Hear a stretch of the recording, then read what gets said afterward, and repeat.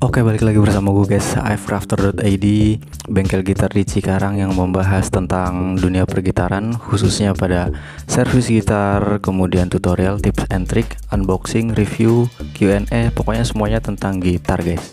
Nah pada kesempatan kali ini gue akan coba menjelaskan tentang apa itu crowning ya guys.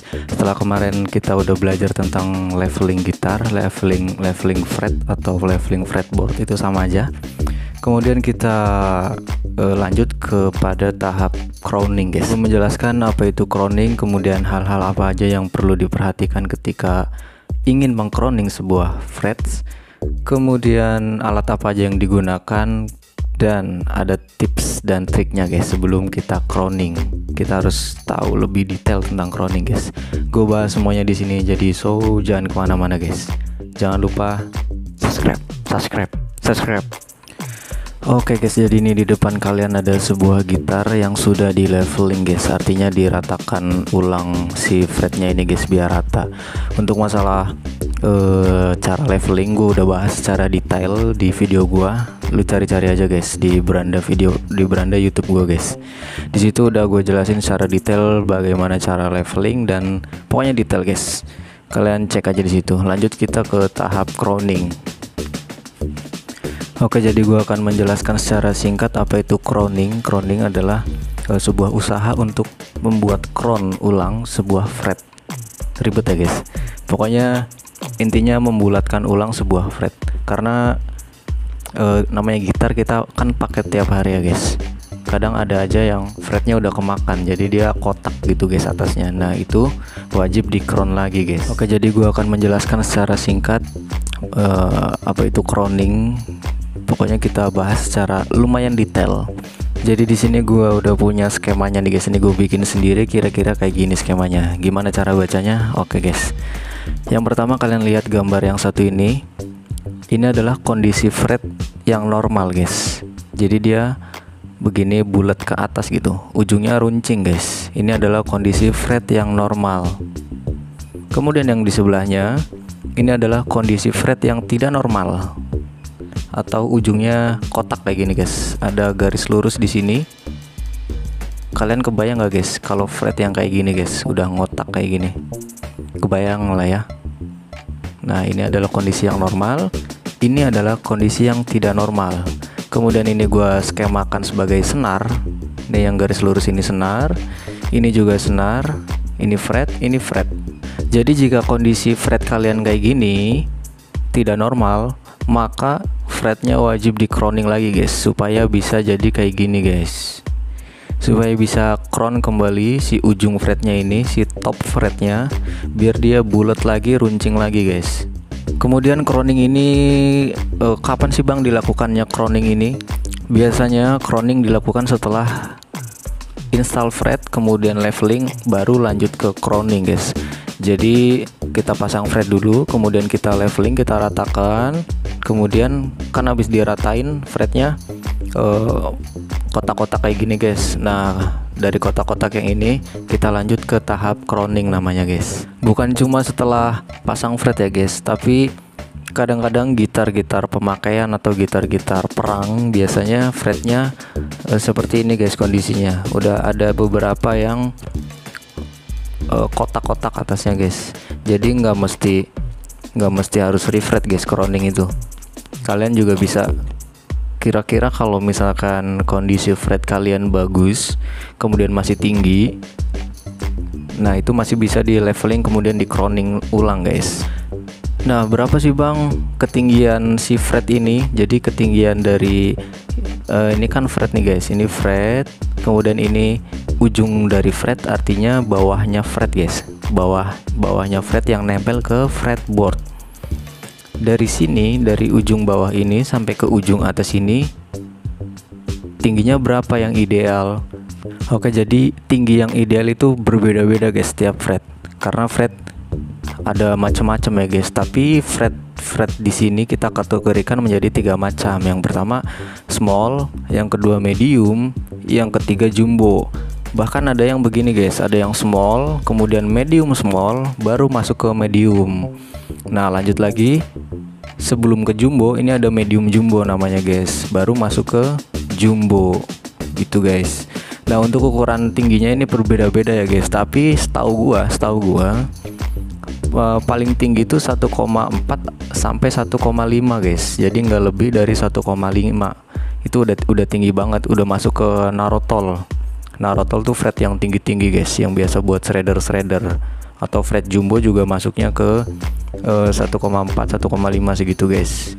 Oke lanjut guys. Itu tadi teorinya udah gue bikinin udah gue jelasin secara singkat. Semoga aja kalian paham ya guys. Kemudian untuk masalah alat-alatnya kita bahas sekarang guys. Alat apa aja yang dipakai untuk croning gasken Oke jadi ini adalah alat-alatnya guys. Cukup empat aja kayak gini empat alat ini kita udah bisa croning kita akan bahas satu-satu tapi nggak dengan spidol dan juga kuas karena kalian ya tau lah ini apa anjir. Ini spidol ini kuas.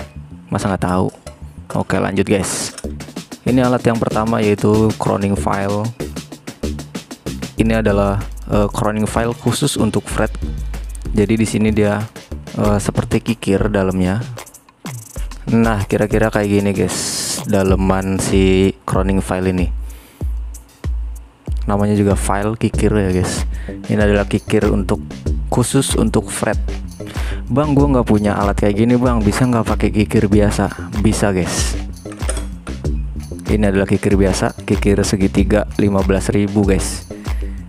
Kalian pasti nggak asing dengan barang ini ya guys.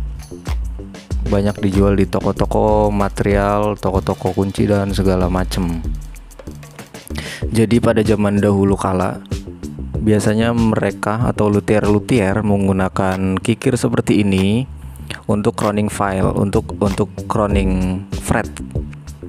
Karena dulu belum ada alat seperti ini guys. Belum ada kayak gini jadi susah nih nyarinya. Jadi mereka pakainya ini guys. Untuk hasilnya tergantung dari skill dan pengerjaannya lebih lama ini. Tapi jujur aja gue lebih puas pakai ini untuk sebuah hasil ya guys. Untuk sebuah hasil gue lebih puas pakai ini karena uh, pengerjaannya lama dan juga detail. Nah kalau ini lumayan instan lumayan instan tapi juga hasilnya nggak kalah bagus dengan yang menggunakan kikir ini guys jadi ini gue sebutnya kalau pakai kikir kayak gini gue sebutnya tradisional crowning guys. Pakai kikir kayak gini karena dulu belum ada crowning file kayak gini. Nah ini udah masuk ke modern crowning ya guys. Ini bisa dibeli di mana bang? Ini bisa kalian beli di marketplace marketplace guys. Udah banyak yang jual di shopee di tokopedia dan segala macem udah banyak yang jual guys. Harganya ya lu cek sendiri lah guys. Ini udah lumayan awet gue pakai udah lama banget udah pada tipis-tipis juga udah pada kurang tajam nanti gua mungkin butuh cadangannya gue beli lagi guys oke lanjut ya Oke, gua anggap kalian semua udah paham tentang alat-alatnya ya guys. Terus kita lanjut ke uh, prakteknya aja, biar videonya nggak terlalu lama juga. Hal pertama yang harus dilakukan adalah cek dulu kondisi si fretnya, yang mana yang mau di crowning. Karena fret ini habis di leveling kemarin habis di leveling dipapra semua jadi otomatis uh, semua bagian dari fret atasnya top fretnya itu kotak semua guys. Jadi ini harus di crowning ulang semuanya dari fret 1 sampai fret akhir. Kemudian ada beberapa gitar. Mungkin kalian juga punya gitar coba dicek. Apakah salah satu dari fret ini ada yang kotak? Nah, biasanya di fret-fret 5 atau fret-fret 6 atau fret 12 yang biasa main bending-bending biasanya di situ agak mengotak guys. Agak mengkotak ujung ujung fretnya guys topnya. Dan itu wajib di crowning dan ini adalah kondisinya guys. Lihat kotak-kotak kayak gini. Ini kan ujungnya kotak atasnya kotak. Uh, kelihatan ya guys Oke kira-kira kayak gitu fret yang udah kotak dan perlu di crowning Oke lanjut gimana bang cara crowningnya? Yang pertama kalian siapkan dulu spidolnya guys. Ini untuk uh, marking. Kemarin udah gue jelasin marking itu apa dan tujuannya untuk apa. Ini gue jelasin lagi dah. Kalian marking dulu di atas fretnya seperti ini menggunakan spidol. Nah setelah di marking baru langsung kita crowning dengan crowning file atau kikir Nah, marking ini tujuannya adalah untuk melihat eh, bagian-bagian uh, yang sudah terkron atau sudah terkikir. Jadi semakin tipis si spidolnya maka sudah semakin runcing juga ujungnya guys. Kira-kira begitu logikanya. Ini langsung coba gua croning ya guys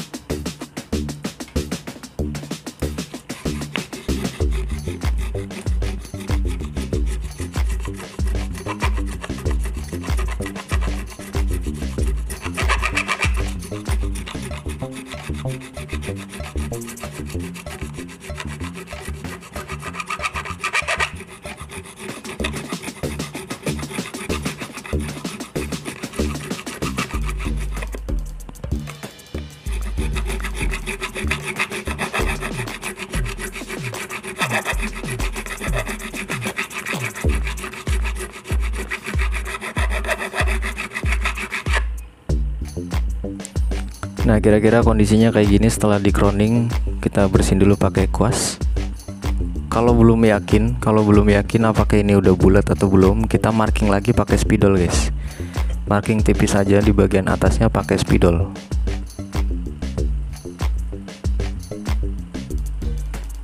Oke, baru lanjut kita crowning lagi guys.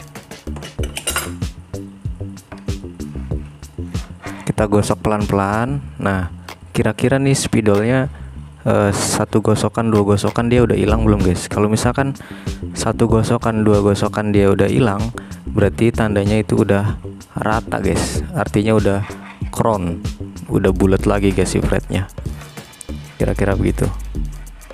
Oke nih gue lanjut lagi ke semua bagian fretnya ya guys. Gue crowning semua ya guys. Tonton aja guys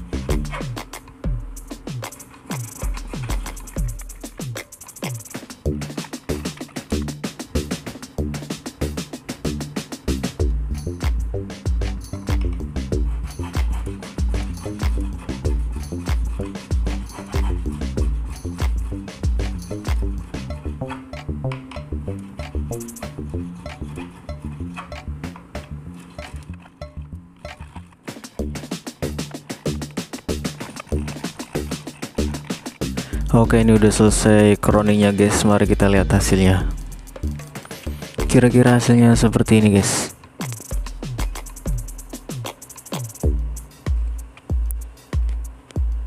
Nah kalian bisa lihat ini udah crown Udah bulat lagi guys ujungnya.